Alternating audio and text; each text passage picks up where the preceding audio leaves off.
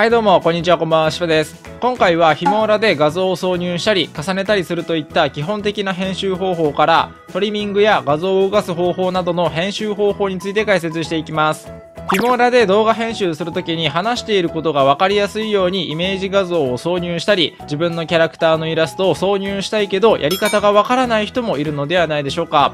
この動画を確認すれば基本的な画像の挿入方法を理解することができますし重ねたりトリミングしたりアニメーションで動かす方法もチェックできるので最後まで確認していってください。ちなみに説明欄に動画の目次を記載していますしブログの方でもこの動画と同じ内容を解説しているのでうまく活用しながらチェックしてみてください。それではまず最初にフィモーラで画像を挿入する方法を解説していきますちなみに自分はフィモーラ10を使用しているのでフィモーラ10でのやり方を解説します他のフィモーラ製品を使用している場合は実際の画面と異なる場合もあるのであらかじめご了承くださいそれでは実際のやり方についてですが、フィモーラにドラッグドロップで画像を読み込ませたら、ビデオトラックに画像をドラッグドロップしてください。すると画像を挿入することができ、プレビューにも表示されるようになります。ちなみにまだ画像を準備できていない人もいるのではないでしょうか。フィモーラを販売しているワンダーシャーが運営するフィルムストックというサイトがあるのですがこのサイトを利用するとロイヤリティフリーのエフェクト素材やサウンド素材メディア素材などをダウンロードできるようになっており動画で使用できる画像もダウンロードすることができるようになっています説明欄にリンクを記載しておくのでどんな素材があるのか気になる人はチェックしてみてくださいまた自分が実際に利用経験がある商用利用可能なフリー画像をダウンロードできるサイトを32個まとめた動画を投稿しているのでこちらも気になる人は説明欄のリンクからチェックしてみてください。ちなみに複数の画像を重ねて表示させたい場合もあると思いますがビデオトラックの1の上にある空きスペースに画像をドラッグドロップするとこのように自動的にビデオトラック2が作成されて画像を重ねた状態で表示させることができます。基本的にビデオトラックの数字が小さいほど背面に表示され数字が大きいほど前面に表示されるようになっているので画像を重ねるときはこの表示される優先順位を意識して挿入するようにしてください。あとは画像をクリックして選択するとプレビュー画面上で画像に枠が表示されます。この枠の周りにある四角や丸をドラッグすることでサイズを調整することができますし真ん中上から飛び出た丸をドラッグすれば画像を回転させて角度をつけることもできるので好きなように調整してみてください。ちなみに現状だとフィモーラの画面と背景画像の縦横比が合っていないので両サイドに黒い画面が表示されてしまっています。このような場合はもちろんですが挿入した画像の一部分だけを拡大して使用したい時は画像のトリミングを行うのがおすすめです。実際のやり方についてですが切り抜きたい画像の上で右クリックしてフィットサイズにクロップをクリックするとこのように自動的にフィモーラの画面にフィットするように画像が切り取られます。もしも自分でどの部分を切り取るのか決めたい場合は切り抜きたい画像の上で右クリックしてクロップとズームをクリックしてください。するとこのような画面が表示されます。フィモーラの編集画面は基本的に16対9のアスペクト比になっていますが挿入した画像のアスペクト比が違っていると画面に黒い画面が出てしまうのでまずはフィモーラの編集画面と同じアスペクト比の16対9に設定してください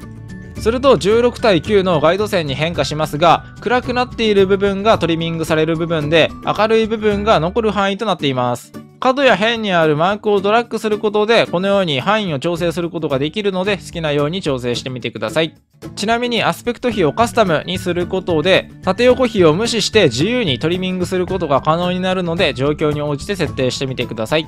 このようにトリミングする範囲を調整することができたら OK をクリックしましょう。すると先ほどは両サイドに黒い画面が表示されていましたがアスペクト比を合わせて切り抜いたことで画面ぴったりに表示されるようになりました。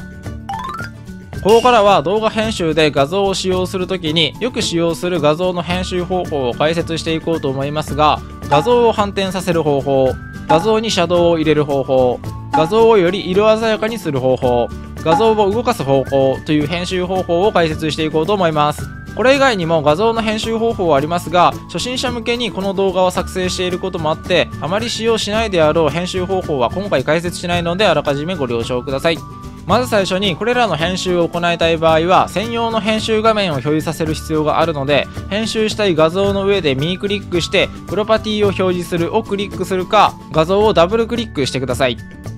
すると画面左上にこのような画面が表示されます。それではここからそれぞれの画像の編集方法を解説していきます。まずは画像を反転させる方法についてですが、変形という項目をクリックします。すると、このような設定画面が表示されますが、反転という項目の水平反転や垂直反転のマークをクリックすることで画像を反転させることが可能です。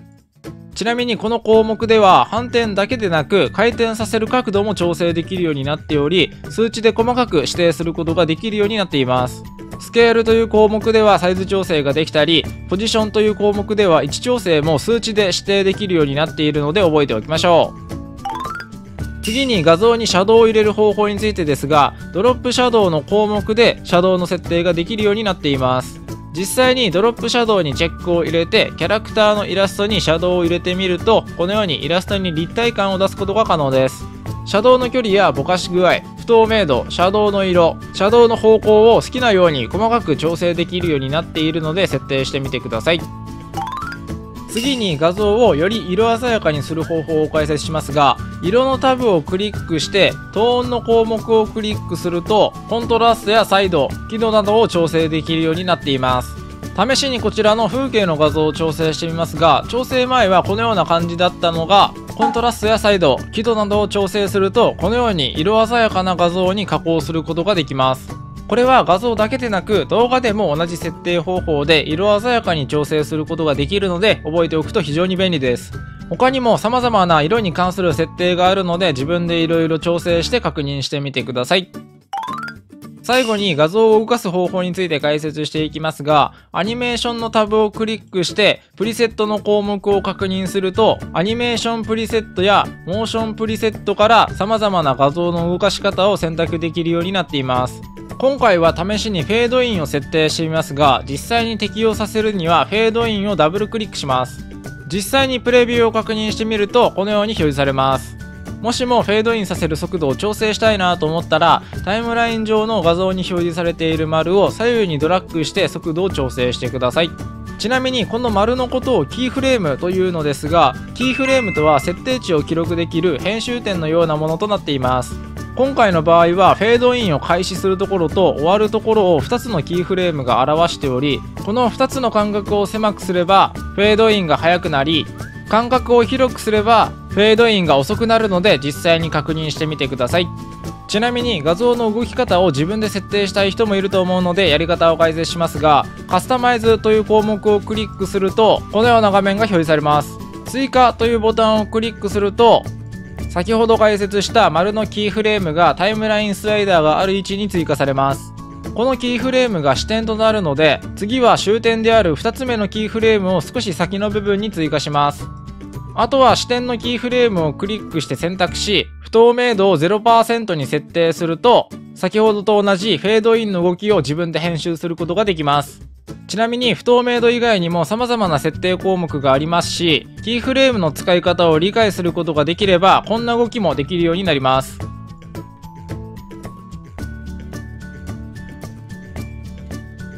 1回で理解することは難しいと思うので、まずは回転の動きだけとか、移動させる動きだけとかを確認し、それを応用して複雑な動きをする画像を編集してみてください。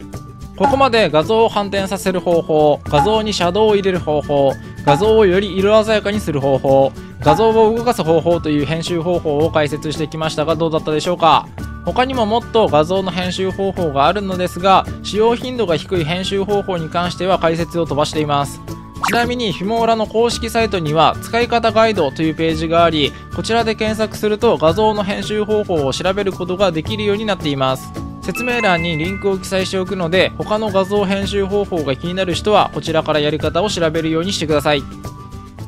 はい、これで今回の動画は終わりにしたいと思いますが、このチャンネルではこういった感じで、フィモーラの使い方や録画や配信に必要な機材の情報、これからゲーム実況を始めたい人向けの情報など、実際にゲーム実況活動や YouTube 活動をしているからこそわかる情報を発信しています。もし参考になったらチャンネル登録していただけると今後もこういった情報を発信していくのですぐにチェックすることが可能です。ちなみにブログの方でも今回の動画の内容について解説していますし、ギアティクスというサイトで実際に使用している機材情報も紹介しています。また自分はこのチャンネルとは別にシパチャンネルというゲーム実況チャンネルを運営していますので説明欄からチェックしてみてください。最後までご視聴いただきありがとうございました。またね